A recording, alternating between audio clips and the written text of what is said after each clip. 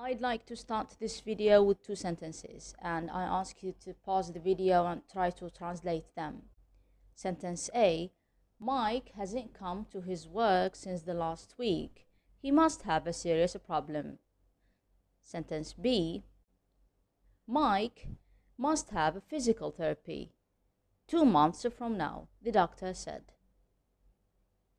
Many of you translated the word must into yajib, regardless of the content or the sentence it is in or it is part of.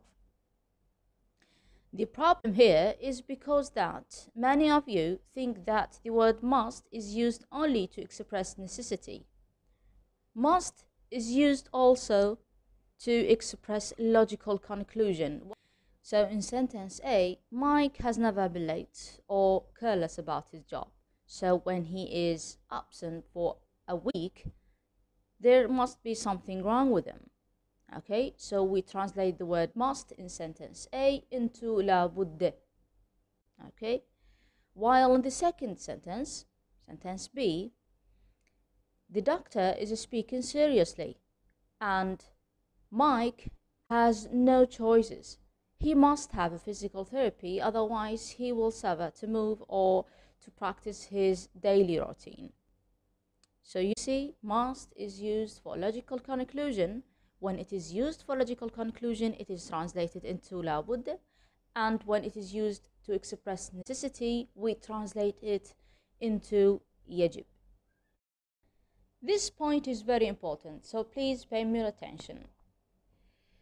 The first use, I mean logical conclusion, is allowed only for present and past tense. We took an example for present, and if you want to talk about past logical conclusion, you use the structure must, have, and past participle. So you say, Mike must have had a serious problem. But what if you want to talk about logical conclusion in the future? Can you use must? Of course not.